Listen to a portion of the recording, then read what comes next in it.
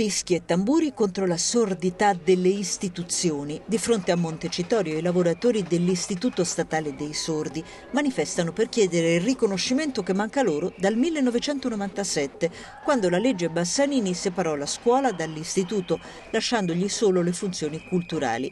Fa parte dei cosiddetti istituti atipici che dovrebbero servire il pubblico inquadrati da un regolamento specifico, solo che per l'Istituto Riviano Mentana il regolamento non è mai arrivato e quindi neanche i finanziamenti.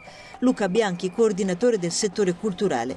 Abbiamo una grande crisi di liquidità, eh, sono tre mesi che non prendiamo lo stipendio e quindi chiediamo un finanziamento ponte in attesa del regolamento attuativo. A rischio ci sono 22 lavoratori coordinati continuativi, di cui 8 loro stessi sordi, e i servizi che forniscono a migliaia di utenti sul territorio nazionale, dagli sportelli per bambini e adulti sordi ai corsi di lingua dei segni per i docenti delle scuole pubbliche.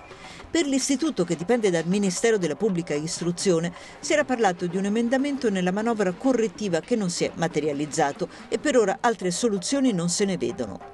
Silvia Simoncini di Nidil CGL, il sindacato dei lavoratori atipici. L'utenza è molto grande anche perché l'Istituto per Sordi di Roma è l'unico istituto pubblico che è rimasto in Italia, prima ce n'erano anche uno a Milano e a Palermo, sicuramente c'è stata una disattenzione, una disattenzione lunga vent'anni che è proprio l'assenza di questo eh, regolamento governativo che dovrebbe finalmente istituire e dare un ruolo a questo istituto e che consentirebbe eh, dall'altro lato anche la possibilità possibilità di utilizzare l'ultimo decreto Madia, quindi quello che eh, prevede anche forme di stabilizzazione all'interno della pubblica amministrazione, perché al momento loro neanche questa strada possono percorrere non essendo sostanzialmente un istituto normato e riconosciuto dalla nostra pubblica amministrazione.